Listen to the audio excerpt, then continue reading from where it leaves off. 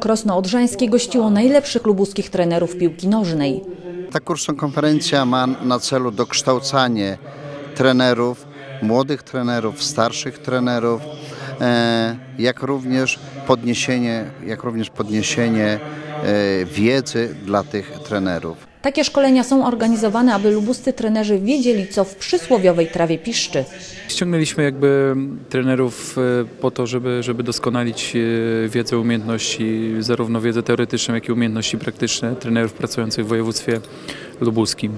Poza tym szkolenia podnoszą kwalifikacje, dzięki czemu lubuscy trenerzy mogą być na bieżąco z wymaganiami stawianymi przez Polski Związek Piłki Nożnej.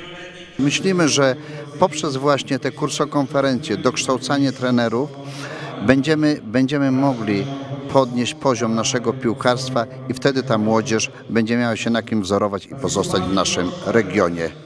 Na szkolenie młodzieży jest bowiem kładziony bardzo duży nacisk. Klubem, który ma sukcesy w tej dziedzinie jest Tęcza Krosno Odrzańskie. Przypomnijmy, że trampkarze awansowali ostatnio do wyższej klasy rozgrywek. Od lat prowadzona jest y, konsekwentna strategia y, oparta na szkoleniu dzieci, szkoleniu młodzieży. Przypomnę, że trzy lata temu nasi juniorzy starsi awansowali do najwyższej klasy rozgrywkowej w Polsce. Grali wtedy z takimi zespołami jak Ruch Chorzów, Górnik Zabrze, Śląsk Wrocław, Zagłębie Lubin i tam y, zdobywali nowe doświadczenia i umiejętności. Dzisiaj ci chłopcy, którzy wtedy grali w juniorze, stanowią e, trzon e, naszej seniorskiej drużyny, która gra w czwartej lidze i przypomnę, że jako Beniaminek tych rozgrywek zajęła trzecie miejsce.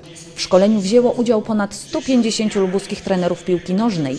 Nie zabrakło również kołcza krośnieńskich trampkarzy Tomasza Urbańskiego, który podczas szkolenia dowiedział się wielu interesujących rzeczy. Bardzo duże doświadczenie, duże strefy mentalne, bardzo fajne środki treningowe wobec tego, co możemy pracować e, z chłopakami e, na naszych treningach.